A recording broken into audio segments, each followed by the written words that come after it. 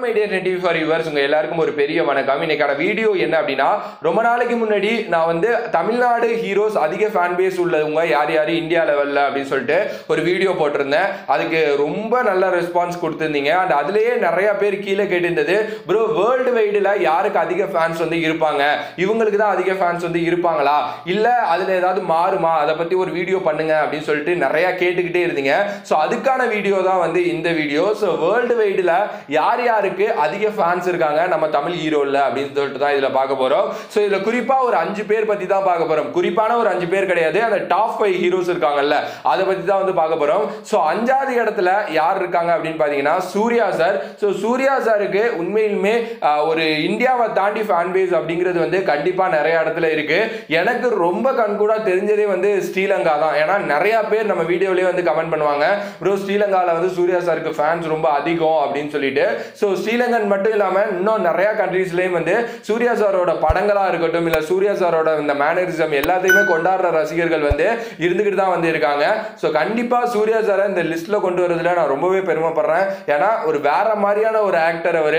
அவரோட acting skill வந்து அந்த லாங்குவேஜோட அடாப்ட் பண்ணி பார்க்குறப்ப மட்டும்தான் நமக்கு நல்லா எஸ்டாப்ளிஷ் ஆகும். ஸோ தமிழை தாண்டி நிறையா லாங்குவேஜில் அவரோட ஆக்டிங் எஸ்டாப்ளிஷ் ஆயிருக்கு அப்படிங்கிறது வந்து உண்மையுமே ஒரு பெரிய விஷயம். ஸோ அது அவர் வந்து கண்டிப்பாக அந்த கேட்டகரியில் இருந்தே ஆகணும் அப்படின்னு சொல்லிட்டு தான் அவருக்கு வந்து ஐந்தாவது இடம். அதற்கு அடுத்தபடியாக பார்த்தீங்க அப்படின்னா நான்காவது இடத்துல கமல்ஹாசன் சார். ஸோ கமல்ஹாசன் சாருக்கு நைன்டிஸ் கிட்ஸ் எல்லாருமே வந்து ஒரு மிகப்பெரிய ஃபேனாக வந்து இருப்பாங்க. அண்ட் சினிமாவை ரசிக்கிற எல்லாருமே வந்து மிகப்பெரிய ஃபேனாக இருப்பாங்க. பட் ஆனால் உலகளாவிய பார்த்தோம் அப்படின்னா அவர் வந்து ஒரு மிகப்பெரிய ஆக்டர் அதனால தான் அவர் பேர் உலகநாயகன்.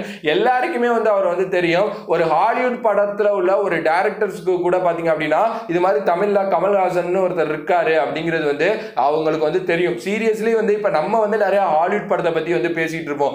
எக்ஸாம்பிள் சொல்லணும் அப்படின்னா ஒரு கிறிஸ்டோபர் நோலன் அப்படி இப்படிலாம் பேசிட்டு இருப்போம்ல. அது மாதிரி வேற வேறு லாங்குவேஜில் வேற வேற கண்ட்ரீஸில் கூட இந்தியா அப்படின்னு எடுத்து ஒரு சில டேரக்டர்ஸ் பற்றி பேசுகிறாங்க அப்படின்னா அதில் வந்து கமல் சார் பற்றி வந்து பேசுவாங்க. ஏன்னா மனுஷன் எல்லாத்தையுமே வந்து எப்பயோ பண்ணிட்டாரு. அதில் எந்த ஒரு சந்தேகமும் இல்லை. அது வந்து நம்ம யாருமே வந்து இல்லை அப்படின்னு கூட வந்து சொல்ல முடியாது. அந்த அளவுக்கு வந்து தமிழ் சினிமாவோட ரேஞ்சை வந்து எப்பயோ எங்கேயோ கொண்டு போய் வச்ச ஒருத்தர் தான் வந்து நாயகன் அவருக்கும் உலகளாவிய ஃபேன்ஸ் எல்லாம் வந்து நிறைய இருக்காங்க. பட் என்ன அப்படின்னா இப்போ அவரோட காலம் வந்து கிடையாது. அது வந்து நம்ம ஒத்துக்கிட்டே ஆகணும். அவரோட படங்கள் வந்து ரொம்ப லேட்டாக ஆகுது. அண்ட் அவர் ஃபுல் அண்ட் ஃபுல் அரசியலுக்குள்ள இறங்கிட்டாரு. ஸோ இப்போ நிறையா வந்து இப்போ ஹீரோஸ் வந்ததுனால அந்த இது வந்து கம்மியாக தான் தெரியுது. பட் ஆனால் அவருக்கும் ஃபேன் பேஸ் அப்படிங்கிறது வந்து ரொம்ப ரொம்ப அதிகம். அதற்கு அடுத்தபடியாக வந்து பார்த்தீங்க அப்படின்னா மூணாவது இடத்துல தலை அஜித் அவங்க. கண்டிப்பாக தலை அஜித்துக்கு வந்து இந்தியாவை தாண்டி ஃபேன்ஸ் இருக்காங்க அப்படின்னா ரொம்பவே அதிகமாகவே இருக்காங்க. நான் அகைன் சொல்கிறது தான் அவருக்கு ரொம்ப அதிகமாக ஃபேன்ஸ் இருக்காங்க. கனடாவில் பார்த்தீங்க அப்படின்னா தல அஜித்துக்கு ஒரு தனி ஃபேன்ஸ் கூட்டமே வந்து இருக்கு. ஸோ தல அஜித்தும் வந்து ஒரு ஒரு வேர்ல்டு லெவல் ஆக்டர் அப்படிங்கிறதுல எந்த ஒரு சந்தேகமும் இல்லை. அந்த தமிழ் சினிமாவோட ரொம்ப ஒரு முக்கியமான நடிகர். ஸோ அவருக்கும் வந்து ஒரு பயங்கரமான ஒரு ஃபேன் பேஸ் அப்படிங்கிறது வந்து வெளியில இருக்கு அப்படிங்கிறதும் நம்ம எல்லாருமே வந்து தெரியும். ஸோ அவருக்கு தான் வந்து மூணாவது இடம். அடுத்தபடியாக அந்த டாப் டூ அதில் ரெண்டாவது இடத்துல பார்த்தீங்க அப்படின்னா தளபதி விஜய். ஸோ இந்த ஒரு காலம் இந்த ஒரு காலம் மட்டும் இல்லாமல் இந்த கடந்த ஒரு ஐந்து வருடமே வந்து விஜய் சாரோட கையில தான் வந்து டோட்டல் தமிழ் சினிமாவுமே இருக்கு அப்படிங்கிறது வந்து நம்ம அக்செப்ட் பண்ணி தான் ஆகணும். ஏன்னா அவ்வளோ நல்ல நல்ல படங்கள் நல்ல நல்ல நல்ல படங்களை தாண்டி வசூல் வேட்டையாடிட்டு இருக்காரு அவரு. எங்கேயோ ஆரம்பிச்ச ஒருத்தர் இப்போ பார்த்தீங்க அப்படின்னா வருஷத்துக்கு இவ்வளோ கோடி சம்பளம் அப்படிங்கிற லெவலில் போயிட்டு நிற்கிறாரு அண்டு இந்தியாவை தவிர எல்லா இடத்துலையும் இவரோட படத்தை தூக்கி வச்சு கொண்டாடிக்கிட்டு இருக்காங்க உண்மையுமே அண்டு எனக்கு தெரிஞ்சு வந்து இப்போ ரீசெண்டாக பிரிட்டனில் இவரோட படம் லேட் ஆனிச்சு அப்படிங்கிறதுனால அங்கே ஃபேன்ஸ் வந்து ரொம்ப வருத்தப்பட்டாங்க அப்படிங்கிற மாதிரி நியூஸஸ் எல்லாம் வந்து வந்துகிட்டு இருக்கு. ஸோ பயங்கரமான மல்டிப்ளெக்ஸில் இவரோட படங்களை வந்து நிறைய ஷோஸ் வந்து ஓட்டணும் அப்படின்னு சொல்லிட்டு அதர் கண்ட்ரீஸ்லையும் வந்து ஆசைப்படுறாங்க. ஸோ அந்த மாதிரி ஒரு நடிகர் தமிழ் சினிமாவோட அந்த ஒரு பேட்டர்ன் ஆஃப் அந்த வசூல் அப்படிங்கிறதே வந்து மாற்றி எங்கேயோ கொண்டு போய் நிப்பாட்டிக்கிட்டு இருக்க ஒரு நடிகர். ஸோ இவருக்கு வந்து வேர்ல்டு லெவலில் சீரியஸாகவே வந்து ஃபேன்ஸ் இருக்க தான் செய்கிறாங்க இவருக்கு தான் வந்து ரெண்டாவது இடம். அண்ட் ஃபர்ஸ்ட் பார்த்தீங்க அப்படின்னா இது வந்து நான் சொல்லலைனாலும் உங்கள் எல்லாருக்குமே தெரியும். ரஜினி சார் ஸோ ரொம்ப வருஷமாக தமிழ் சினிமாவை ஆண்டுகிட்டு இருக்க ஒரு கண்ணன் அப்படின்னே வந்து சொல்லலாம். ஸோ அவருக்கு வந்து இந்தியா லெவலில் ஃபேன்ஸ் அந்த இதில் வந்து பார்த்தீங்க அப்படின்னா நான் வந்து செகண்ட் பிளேஸ் கொடுத்துருந்தேன். ஏன்னா விஜய் சாருக்கு அதிகமாக இருக்காங்க அப்படின்னு சொல்லிட்டு. அதுவும் வந்து உண்மைதான். அதில் எந்த ஒரு சந்தேகமும் இல்லை. ஏன்னா இப்போ வந்து அவரோட ஃபேன்ஸ் எல்லாம் தாண்டி நிறைய யங்ஸ்டர்ஸ் வந்து வந்துட்டாங்க. பட் ஓவரால் நம்ம வந்து டோட்டலாக வேர்ல்டு ஃபுல்லாக எடுத்தோம் அப்படின்னா ரஜினி சாரை மிஞ்சினதுக்கு ஆளே கிடையாது. குறிப்பாக ஜப்பான் அமெரிக்காலாம் பார்த்தீங்க அப்படின்னா ரஜினி சாரோட கோட்டை அங்கே வந்து எதுவுமே நடக்காது. அங்கே ரஜினி சாரோட படங்கள் ரிலீஸ் ஆனிச்சு அப்படின்னா அவங்களுக்கு அன்னைக்கு வந்து தீபாவளி. அந்த அளவுக்கு அளவுக்கு வந்து ரஜினி சாரை வேற வேற லாங்குவேஜ்ல வந்து பயங்கரமா வந்து கொண்டாடிக்கிட்டு இருக்காங்க. குறிப்பாக அதர் கண்ட்ரீஸில் வந்து அவரை அவர் வந்து ஒரு வேற மாதிரி பார்த்துக்கிட்டு இருக்காங்க.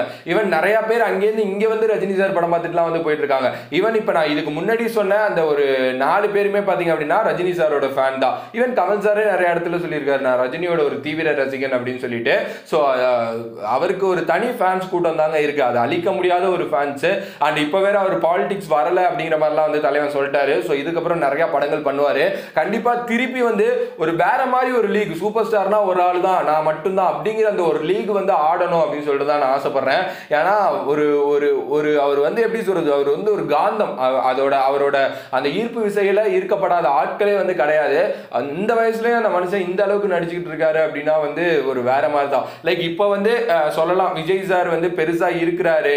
விஜய் சார் வந்து ரஜினி சாரை மிஞ்சிட்டாரு அப்படின்னு சொல்லிட்டு. ஒன்ஸ் அப்பான் டைம் விஜய் சாரை மிஞ்சுறதுக்கும் தமிழ் சினிமா சினிமாவில் ஆள் வருவாங்க. அதுல எந்த ஒரு சந்தேகமும் இல்லை. ஒரு காலத்தில் ரஜினி சார் இப்போ விஜய் சார் இப்போ இதுக்கு அடுத்து வந்து யார் வேணாலும் வந்து வரலாம். ஸோ அது இது வந்து ஒரு சர்க்கிள் தான். இது வந்து நம்ம போயிட்டே இருக்கோம். அதுக்காக வந்து இப்போ ரஜினி சார் மாதிரி ஆட்கள்லாம் வந்து பண்ண வசூலையும் அவங்க எந்த அளவுக்கு வந்து தேட்டர் ஸ்க்ரீன்ஸ் வந்து கை கட்டுப்பாட்டுக்குள்ள வச்சிருந்தாங்க அந்த தமிழ் சினிமாவை எப்படி ஆண்டாங்கங்கிறதெல்லாம் நம்ம மறந்துடக்கூடாது மறக்கவும் கூடாது. அப்படி மறந்தா அவங்களுக்கெல்லாம் வந்து சினிமா தெரியல அப்படின்னு சொல்லிட்டு தான் அர்த்தம். ஸோ ரஜினி சார் வந்து ஒரு வேற லெவலான ஒரு பிம்பம் தான் உண்மையுமே ஸோ அவருக்கு இந்த இதில் வந்து ஃபஸ்ட் அப்படிங்கிற ஒரு பொசிஷன் கொடுக்குறது வந்து நான் ரொம்ப ரொம்ப பெருமைப்படுறேன். ஸோ நீங்கள் இந்த ஆர்டர் பற்றி என்ன நினைக்கிறீங்க? இதில் ஏதாவது சேஞ்சஸ் ஏதாவது இருக்கு? இல்லை ஏதாவது தப்பு இருக்குன்னா கூட மறக்காமல் கான்வர்ஸ்ல கமெண்ட் பண்ணுங்க.